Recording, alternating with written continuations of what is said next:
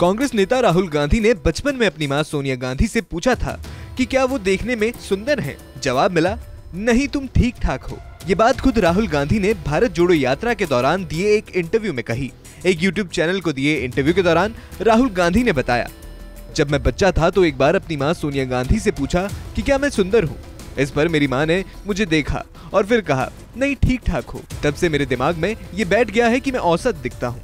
जब उनसे पूछा गया कि क्या ये मन गणत कहानी है तो उन्होंने बताया, नहीं, मेरी माँ ऐसी ही है। वे तुरंत आईना दिखा देती हैं। मेरे पिता भी ऐसे ही थे। मेरा पूरा परिवार ऐसा है। किसी बात को बढ़ा चढ़ाकर नहीं कहते।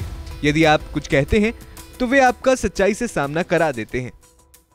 पदयात्रा के दौरान यूट्यूबर संदीश भाटिया को दिए इंटरव्यू में राहुल गांधी ने अपने धार्मिक विचारों से लेकर भारत जोड़ो यात्रा के लिए पहने जाने वाले जूतों तक कई मुद्दों पर बात की। भगवान में आस्था के बारे में पूछे जाने पर उन्होंने कहा, यदि आप दार्शनिक पक्ष पर जानना चाहते हैं तो मैं कहना चाहता हूँ कि भगवान शिव एक अच्छा विचार है। हमारे सिस्टम में शिव की अवधारणा को समझना बहुत शक्तिशाली है, और मैं उस दिशा में आगे बढ़ूँगा। जूते के सवाल पर उन्होंने बताया, आमतौर पर मैं अपने जूते खुद खरीदता हूँ, लेकिन अब मेरी माँ और बहन मेरे लिए जूते खरीदती हैं।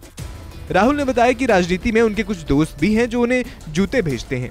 सवाल पूछा गया कि इनमें से कोई बीजेपी वाला भी है क्या? तो उन्होंने कहा कि वो तो सिर्फ़ जूते फेंकते हैं।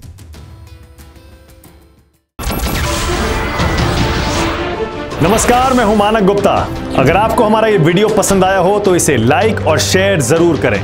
और हाँ, हमें सब्सक्राइब और फॉलो करना ना भूलें, ताकि आप देश और दुनिया की कोई खबर मिस ना करें। तो जुड़े रहिए हमारे साथ और देखते रहिए न्यूज़ 24